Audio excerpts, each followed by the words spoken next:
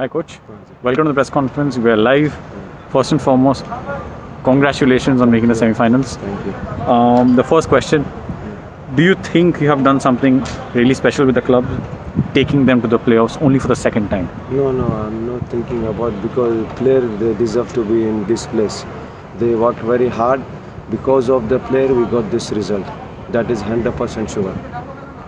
Um, most would say you wouldn't have, don't have the star players like some of the other big teams. Um, yet you have come so far. Is it all down to how you shape the system and the really the spirit of these young boys? No, as I said before, it is because of the player. They work very hard.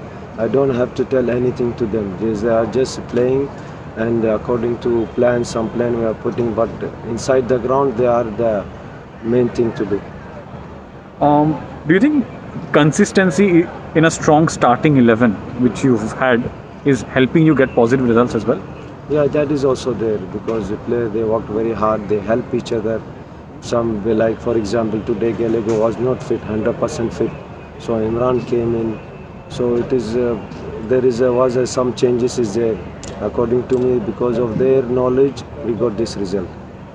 Um, as you just mentioned, Gallego played half an hour today.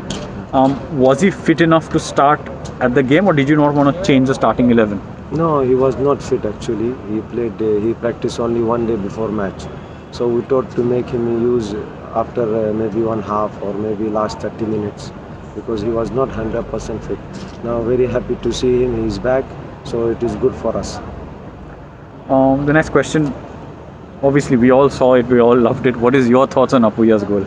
Yeah, very outstanding goal. Apuia, don't have to say anything. One of the best player in India we have.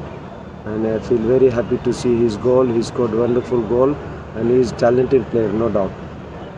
Um, you have also transformed VP Suhair into a dangerous player.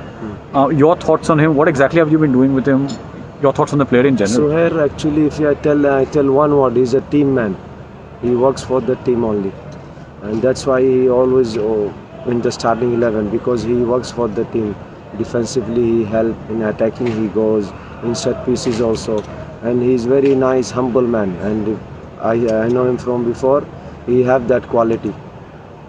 Um, the last question: Does qualification to the playoffs now mean added pressure in crunch matches?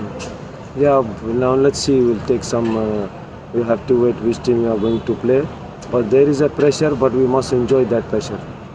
Thank you so much for speaking to us, coach. Congratulations again on the fabulous results. Thank, Thank you. you. Thank you.